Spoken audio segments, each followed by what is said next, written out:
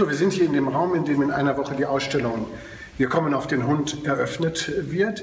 Die Ausstellung wird in sechs Kapitel gegliedert sein. In der Eingangssituation hier vorne haben wir die Hundeporträts, also das, was man erwartet. Bilder von Hunden, von starken Hunden, von schönen Hunden, von schwachen Hunden, von Kreaturen des Hundes. Es geht dann weiter mit dem Hund und wir, Hunde in der Gesellschaft. Hunde sind überall. Auf jedes Bild, auf das Sie schauen, sitzen im Hintergrund ein Hund, läuft einer mit in den großen Stadtbildern, in den Parkbildern, die Spaziergänger, Hunde an der Leine.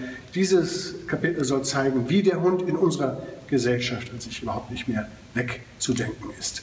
Dann gibt es eine weitere Sektion Künstler und Hund. Da werden Künstlerhunde, es wird aber auch die Art und Weise, wie Künstler Hunde zeichnen, wie sie sie darstellen, äh, nicht äh, äh, pointiert, äh, mit sehr feinen Schraffuren, äh, mit genauesten äh, Studien verbunden, Künstler, Hunde im Atelier, also ein solches Thema, wo Künstler und Hund einmal zusammengefasst werden. Ein weiteres großes Kapitel ist dann der Jagd gewidmet. Natürlich ist das eine ganz ursprüngliche Funktion des Hundes. Das geht bis auf die Vorzeiten zurück, dass der Hund nicht nur ein Begleiter, ein Spielgefährte, ein Pet da gewesen ist, sondern eben halt ein Jagdgenosse, ein Gebrauchshund. Äh, das ist ein großes Kapitel. Das geht bis in die jüngere Vergangenheit natürlich hinein oder auch bis in die Gegenwart. Dann kommt ein großes Kapitel zu Herrchen, Frauchen, Kind und Hund. Also die unmittelbare Beziehung von dem Herrchen, dem Frauchen zum Hund. Da ist manchmal der Hund interessanter vielleicht als das Frauchen am anderen Ende der Leine, manchmal eben halt aber auch äh, das, äh, das Herrchen oder äh, das Frauchen. Das letzte Kapitel schließlich kommt am nächsten ran an unseren Satz, wir kommen auf den Hund.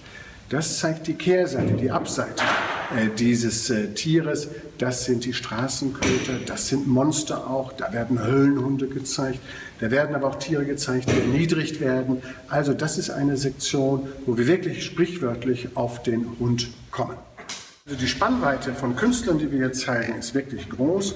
Es reicht von der Renaissance angefangen, also von großartigen Werken von Albrecht Dürer über Carracci, über Tiepolo, natürlich wichtig Rembrandt dabei, die Holländer mit ihrer drastischen Realismus. Dann kommt das 19. Jahrhundert mit großartigen Werken von Adolf Menzelrein, von Ludwig Richter und anderen Künstlern. Es geht dann über die frühe Moderne äh, von Otto Dix, äh, ein ganz, ganz großes äh, nicht, ähm, Hunde Porträt mit dem äh, Herrchen äh, dabei.